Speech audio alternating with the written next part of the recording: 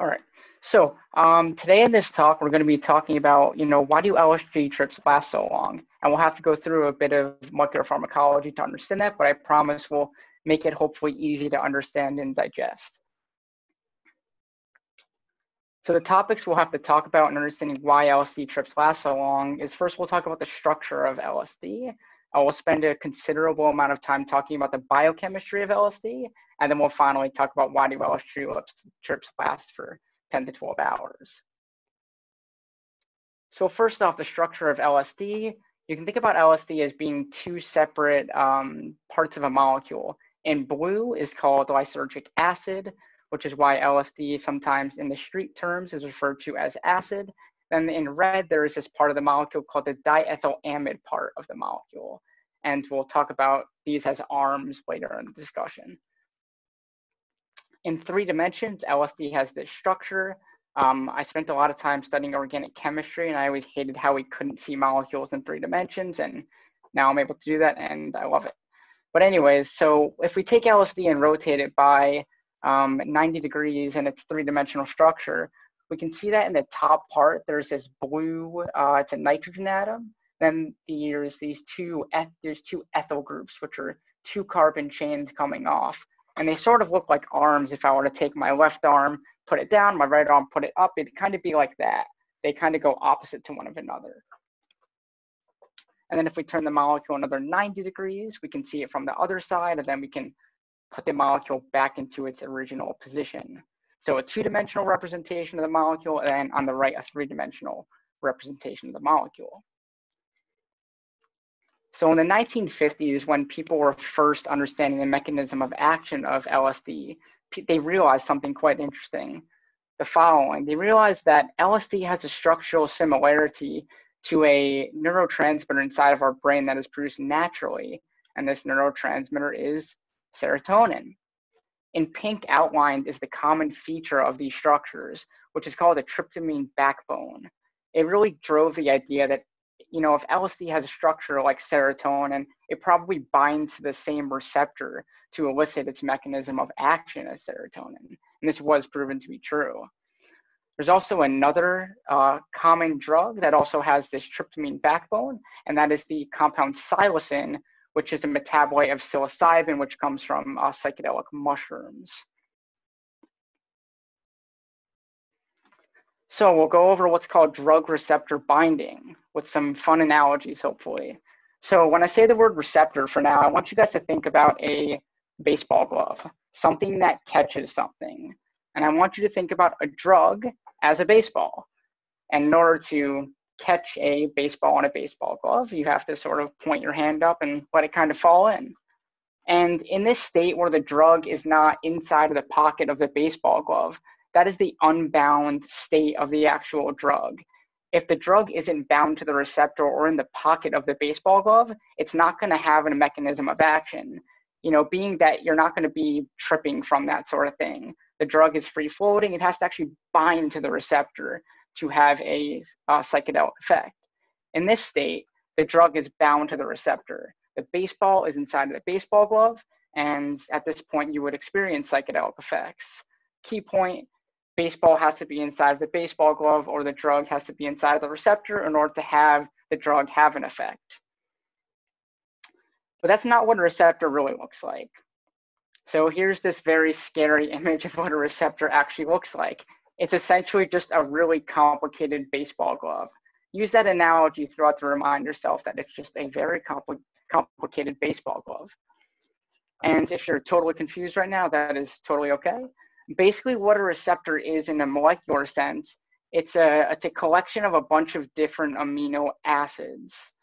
Okay, the probably the most common amino acid you guys have heard of is probably tryptophan. This gets sort of the the Thanksgiving turkey analogy a lot of the times in uh, North America.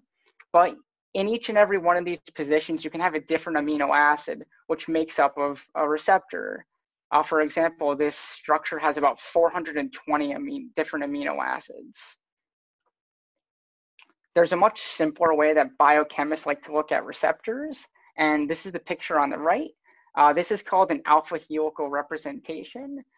Essentially, basically, these spaghetti, the spaghetti, corkscrew spaghetti shaped things are called alpha helices. And it's basically the picture on the left and the picture on the right are just a different representation of the same thing. The picture on the right is a little bit easier to understand because it doesn't have all these uh, molecules in the way. It's just explained by these structures called alpha helices. And we can spin that all the way around by 360 degrees to see what that looks like in a three-dimensional space.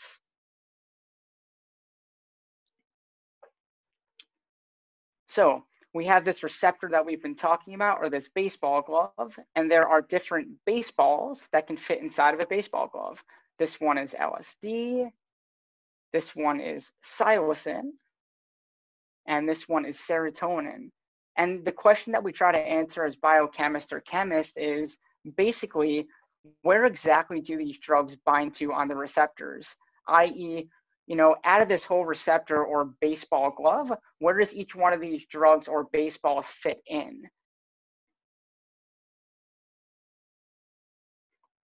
So uh, recently, I say 2017, about three years ago, there was a publication put out by uh, the David David Nichols and Brian Roth and a, a bunch of other people where they figured out where exactly LSD binds to the receptor. Specifically, this is called a serotonin 2B receptor. Um, much like apples, there aren't just apples, there are different types of apples, like a Honeycrisp, a Gala, and my favorite being the Pink Lady apple. Uh, there are also different types of serotonin receptors, much like there are different types of apples. This one is specifically, like you said, a serotonin 2B receptor. And there it is in 360 degrees.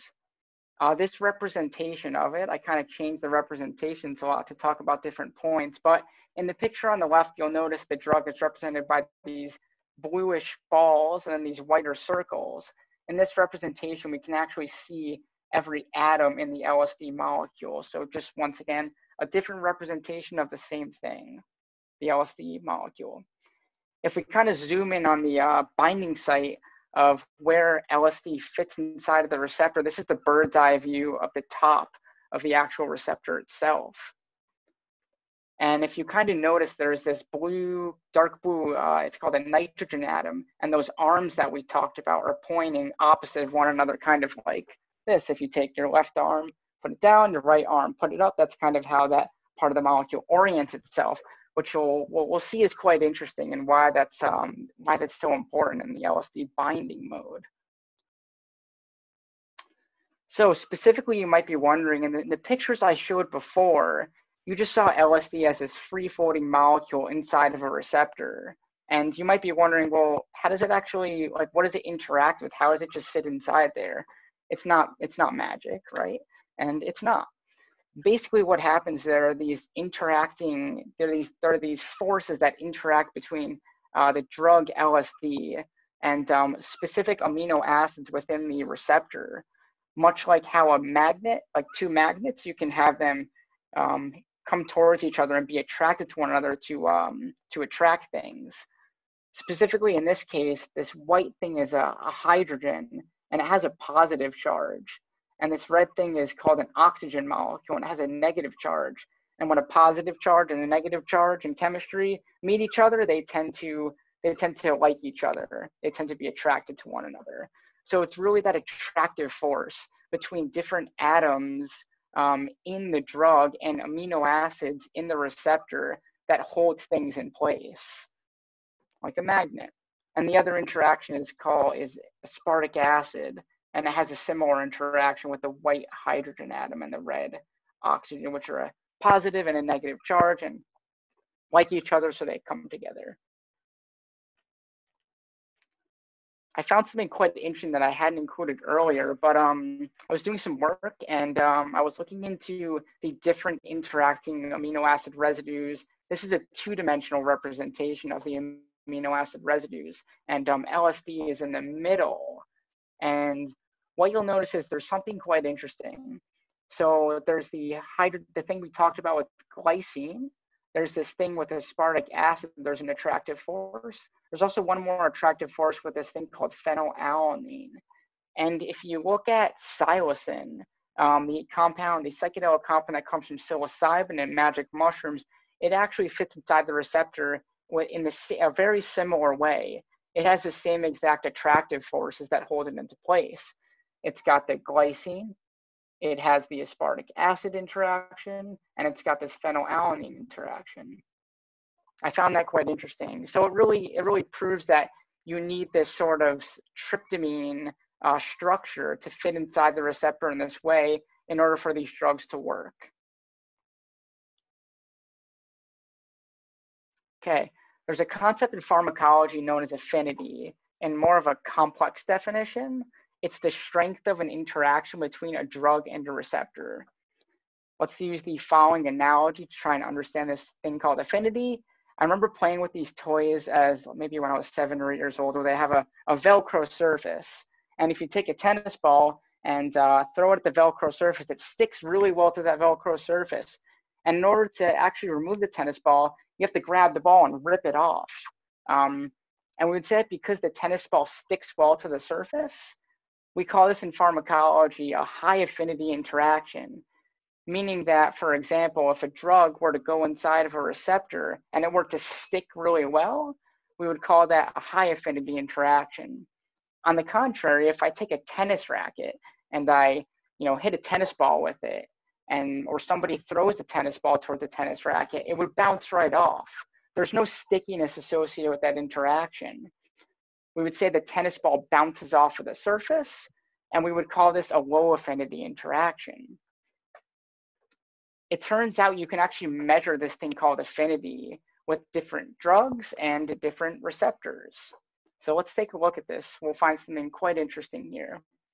If we look at the LSD molecule on the bottom, we see these values listed um, on this column.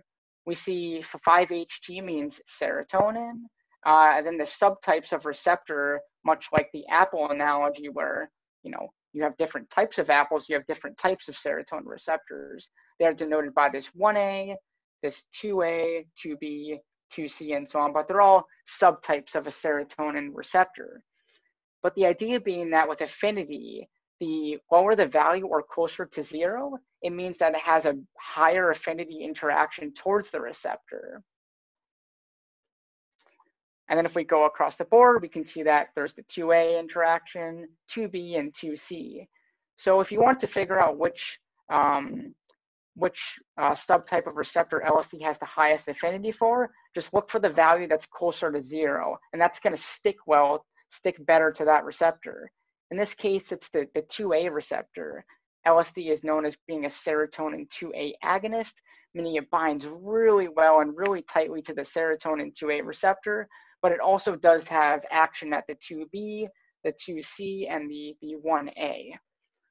What's even more mind blowing is that if you look at the top part of this, there's a thing that says 5-HT. So now we're looking at the affinity of serotonin to serotonin receptor. And if you remember what I said about the number being closer to zero, a number closer to zero denotes a, a higher affinity interaction. So we could actually look at these numbers and compare the affinity of LSD compared to serotonin. And what we would see is that for every subtype of receptor that we measure with LSD, it has a higher affinity than serotonin itself. The most starkly uh, ones that jump out at me is the affinity of uh, LSD versus serotonin at the 2A receptor. This is about 160 times stronger. LSD has a binds to serotonin receptor by about 160 times stronger than serotonin itself, which is pretty crazy to me. And that the 2B it bind, binds about 12 times stronger.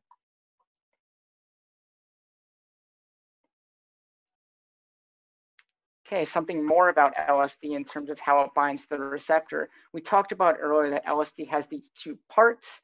Uh, the blue part is the lysergic acid part of the molecule, and the red part is the diethyl amide part of the molecule. Um, this is a picture from the Netflix series Lock and Key, which I personally enjoyed very much, but we'll use an analogy to explain something here. So in this analogy, think about a drug as a key and a receptor as a keyhole. And from intuition, we've all used we've all used keys to open doors. We know that you have to take a key, stick it inside of a keyhole. But in order to actually open the door or unlock, you have to actually turn the key, don't you? LSD does sort of a similar thing as we'll see. So on the left, what this is, is this is LSD's three-dimensional shape when it is not inside of a receptor. Specifically highlighted in blue is the diethylamide part of the molecule, or those arms that we talked about as being up and down. When LSD binds to the receptor, the diethylamide part of the molecule actually changes conformation. So the analogy here being that the diethylamide rotates upon, upon binding, much like when you stick a key into a lock, you have to turn the key in order to actually open the lock, don't you? Sort of a similar mechanism going on there. Okay, so to figure this out, this might be a little bit, um, this will be interesting. So scientists want to figure out, is the orientation of that diethylamide group important? So what they did is they looked at the three-dimensional conformation of these those arms that we talked about. In LSD and purple, the arms are sort of like this in three-dimensional space. Um, you can make this compound uh, SSAZ uh, in, in uh, green in which you can force the arms to be in the same position as LSD, okay? You can then make this compound called RRAZ and force the arms to be in the opposite configuration. So basically going like from this to this. And then in LSA, you it's like you don't have any arms at all. There are no arms really in this molecule. And it turns out you can measure the activity of these compounds um, at serotonin 2B receptor. So what we're trying to look at here in this graph is if we follow the, let's follow the purple line because that's LSD. The purple line starts, and then as the concentration of the drug increases, the receptor activity also increases until we hit a, a top part. And what's interesting is if you look at the green compound, it tracks perfectly basically with the purple line, telling us that the arm position being conserved in this SSAZ compound um, it, it does show the same activity as LSD. But if you look at the RRAZ compound in red, you actually need more drug to achieve the same effect as LSD. So basically what this tells us is that the conformation of those arms, it does matter. And it's part of the reason why LSD is a really potent compound. And then why do LSD trips last so long? Our final topic of discussion. So in terms of LSD trips um, lasting long, this came out of, I regenerated this diagram from the, the Nichols paper about the uh, crystal structure or the serotonin receptor structure. So what they found is this thing sort of, we'll call it a molecular lid, so to speak. It's literally like a lid. So sort of what happens is when LSD takes its key, puts it inside of the keyhole or receptor, it turns the diethylamide, so it turns the key, and then this lid sort of shuts down on the drug. It's a molecular lid that closes after all that binding occurs. And specifically, there's a specific amino acid residue called leucine at the 209th position that sort of wedges LSD down into the receptor forcing it to stay inside the receptor and making it really hard for LSD to escape the receptor. So of course we need to prove that this is a real thing. So what this is trying to show in this gray, gray diagram called wild type, this is the normal uh, leucine at the 209th position of the uh, serotonin 2B receptor.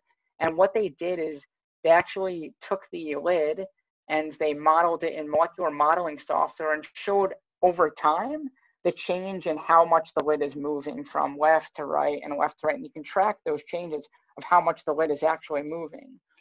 And there's not that much movement in the lid, but in the picture in red, if you take that amino acid called leucine and you mutate it to a different amino acid called alanine, you actually see there's more movement in the lid. The lid moves more. So theoretically, this mutation, if you have this mutated receptor, the LSD would get kicked out of the receptor much sooner, and the psychedelic effect wouldn't last as long as the normal uh, receptor with leucine at that position. And it turns out they can prove this. So what we're looking at on the, uh, the x-axis is a time scale, and then on the y-axis, we're looking at how much LSD is bound to the receptor over time. In the black line, what we see if we follow this line is that as time goes on, the LSD gets kicked out of the receptor, okay, at some rate, and that rate is this number right here, 0.005. And then if we do the same thing, we look at uh, the mutated receptor, which has alanine at that position, we see that the concentration of drug drops way faster with the mutated receptor, showing us that if we mutate the receptor, the LSD will actually get kicked out of it at a much quicker rate.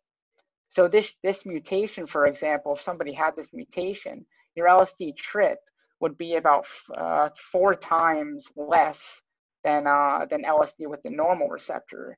So case in point showing us that the amino acid at this specific position acts as a wedge to hold LSD inside the receptor, making the trip quite, quite long.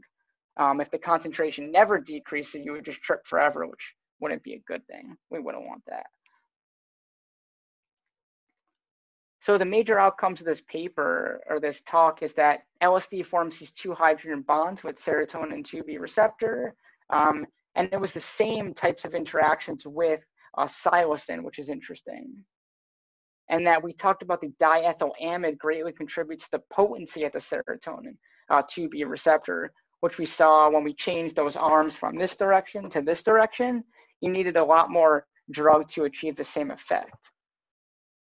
And then we talked about how this leucine amino acid on the molecular lid of the uh, serotonin 2B receptor traps LSD inside the receptor, which explains why LSD's uh, experience is generally very long. And specifically, that amino acid, um, leucine, forces it to stay down inside the receptor. And the type of work I do, it's, you know, we want to be able to, we can look at this research and we can design new psychedelic drugs which you know we want to make sure they satisfy these criteria because we saw that you know both LSD is a psychedelic and so is uh, psilocin, and they both have similar types of interactions with amino acid residues, and that is it.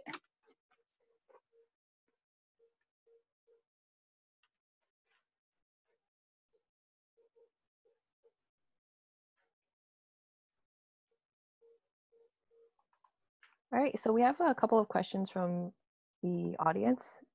Sure. Um, so one of the first ones was, given the difference in binding affinity of LSD between 2B and 2A, is it yeah. correct to generalize its diethylamide rotation in 2B to its behavioral effects mediated primarily through 2A? Um, so because they're in my world, technically, that is that's a good question, but it's unknown because there isn't a serotonin 2A receptor structure known with LSD bound to it. So, like, I think it's a really good question. Um, people seem to think yes, the answer is that. Is LSD's primary effect of being a psychedelic is mediated by it binding to the 2A uh, receptor, but I think we would need that crystal structure, that structure to say for sure. Yeah. All right, we also have like a, a couple of other questions. So in regards to the proof slide with the uh, cap rotation, do you know sure. how this relates to the rapid tolerance seen in serotonergic psychedelics? And is tolerance believed to be due to receptor desensitization? That's that's actually correct. Yeah. So tolerance. So the idea behind tolerance is, is it is due to receptor desensitization. Specifically, after a drug binds to a receptor, um, what happens more specifically is the the cell actually internalizes the receptor meaning it, meaning it drags it into the surface of the cell, and that helps degrade the drug. Um, that's that's kind of the general model for desensitization. And what was the next part of the question? Um, is tolerance believed to be due to receptor desensitization? Uh, yeah, yeah, yeah, it is. Yeah, the very general answer is yes. Yeah. And is there a reason why Nichols' research focuses on LSD's activity in the 5-HT2B receptor mm-hmm. and not the 5A, uh, sorry, and not the 2A? Yeah, a lot of, so here's the, this is a good question. Um, the serotonin 2A crystal structure paper is actually supposed to come out this year, hopefully. Um, what happened was I was talking to Nichols about this in person, and he said it was very hard for them to get the structure of a 2A receptor primarily his lab does study serotonin at the 2A receptor, but it was so hard for them to get a crystal structure, uh, the structure of the 2A receptor, they went after the 2B receptor. It was easier to get that that structure for. But yeah, hopefully we'll see some more information with the 2A uh, structure coming out soon. But um, in terms of the differences between the two receptors, they're apparently they're very similar. If you look at the this what's called the sequence homology, um, the amino acid residues almost exactly line up between the two receptors. Um, there are very slight differences that don't really affect that active site, so to speak. All right. Um, so another question: While LSD has a long residence time within the 5-HT receptor as a result of this extracellular loop lid mechanism, does this actually affect the downstream signaling pathways more than a different 5-HT2A agonist? And the second part of the question yeah. is: Once the G protein signaling uh, molecule has been released, can the receptor be reset and signal again while LSD is still bound? Uh, and somebody knows their pharmacology. Just just summarize the first part one more. I'll answer each part separately.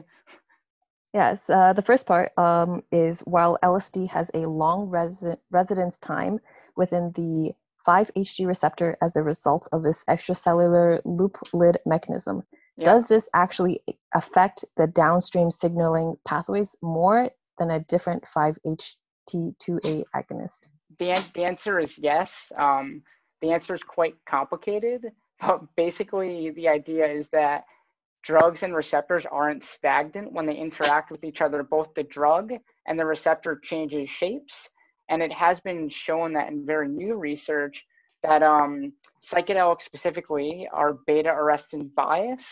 And if you use something like um, not serotonin, but psilocin. Uh, psilocin isn't as beta arrestin bias. Um, it's more cyclic AMP bias, but LSD is, and it's because of that diethylamide part that it tends to be more beta arrestin bias. That's a that's a whole other talk though. If you ever want to cover that, it's an interesting. Uh, there's a lot of interesting stuff there. And the Do you know part, the? Sorry, yeah. Did you uh, want to answer the part two of that? Sure. Yeah. Yeah. It says, once the G protein signaling molecule has been released, can the receptor be reset and signal again while LSD is still bound? Uh, no, the drug would actually have to get kicked out of the receptor for the recycling to occur. Um, it gets it gets internalized into the cell, which means the cell sucks it in, and then once it's inside of there, the drug gets kicked out of the receptor. Then it can be reused. It has to come out first. Okay. We have a couple more questions, and then we're probably going to close it off. Sure. Uh, does LSD have any affinity for dopamine receptors as compared it, to other classical yeah. psychedelics? It um it does. LSD Nichols always said this in his talks that LSD is quite a promiscuous molecule, meaning that it binds to a lot of different receptors. Dopamine is one of them, but the affinity is not very high. Um, most of the psychedelic drugs are mediated by um, serotonin binding. It, it's pretty low at dopamine, I know, and there's also the the beta two adrenergic receptor, but I'd say like in terms of this, it's it's it's it's a bit negligible, but is there a pharmacological effect there? Yes, there is. Yeah, dopamine. Okay. What role does the carbonyl group near the diethyl arms play in affinity? It hmm, isn't necessary for psilocybin, but it but is it necessary for LSD? Yeah, let's take a look. Maybe we'll go to the picture. So someone's asking about the carbonyl group. Okay. Um honestly, like when I've looked at this inside the receptor, I haven't seen any interactions with the carbonyl group, that basically being the C double bond O. Somebody wants to know if it has any sort of effects with the receptor. The answer is no, not really. Yeah. Um, as far as I can tell, there's not really much interaction. The most important part is the um, the indole ring, which has the hydrogen bond here, um, this nitrogen here, um, this interaction and then the uh, diethylamide. It seems like not much other part of the molecule has much of an effect. But we could test it, could build another molecule, right? And do we know if the LEU 209 has any relation to uh, hallucinogen persisting perception disorder? That's a that's that's definitely a question that I, I do not know. Let me think about that. Does leucine 209 have any it's a good question that I don't have the answer to, to be honest. And uh, last question What accounts for some people who are not able to get an effect from LSD? Is it a problem with their receptors? You would, yeah. So I, I guess what you would imagine is that there are definitely some people that need really high doses of um, high doses of LSD to have an effect. Um, people that would need a really high dose likely would have like lots and lots of ser. Actually, sorry, they'd have not. They'd have lower amounts of serotonin receptor um, than somebody who has the opposite effect. It, it would probably be a, a problem of like either having you know, on one side, if you have not a lot of serotonin receptor or having like too much serotonin receptor, I guess if that makes sense. Yep. And uh, that's all the questions. Thank you.